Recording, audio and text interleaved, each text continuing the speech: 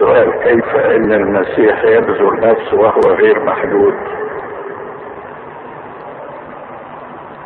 ما هو اللي بيبذل مش اللاهوت اللي غير محدود. بيبذل بشريته وبشريته محدودة.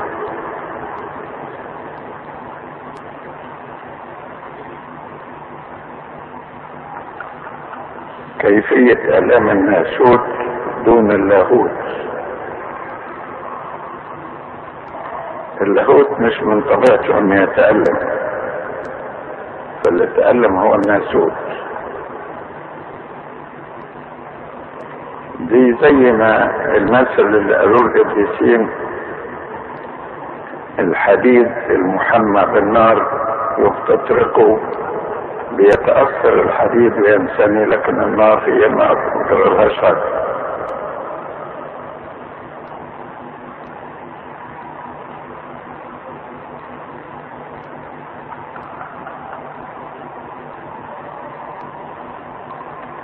كيف يصرخ وهو على الصليب ويقول إلهي إلهي لماذا تركتني. آه في الحقيقة إلهي إلهي لماذا تركتني هي بدء المزمور 22 والمزمور 22 كله نبوءات عن صلب المسيح. فكأنه بينبههم إلى النبوات المكتوبة عنه في المزمور 22 تاني حاجة. الترك مش معناها الانفصال. يعني تركه للآلام دون أن ينفصل عنه. ودي معناها إنه لم يستخدم لاهوته من أجل راحة ناسوته فالناسوت فعلا تألم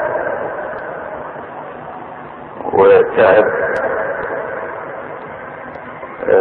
دون أن يتدخل اللاهوت لحمايته من الآلام.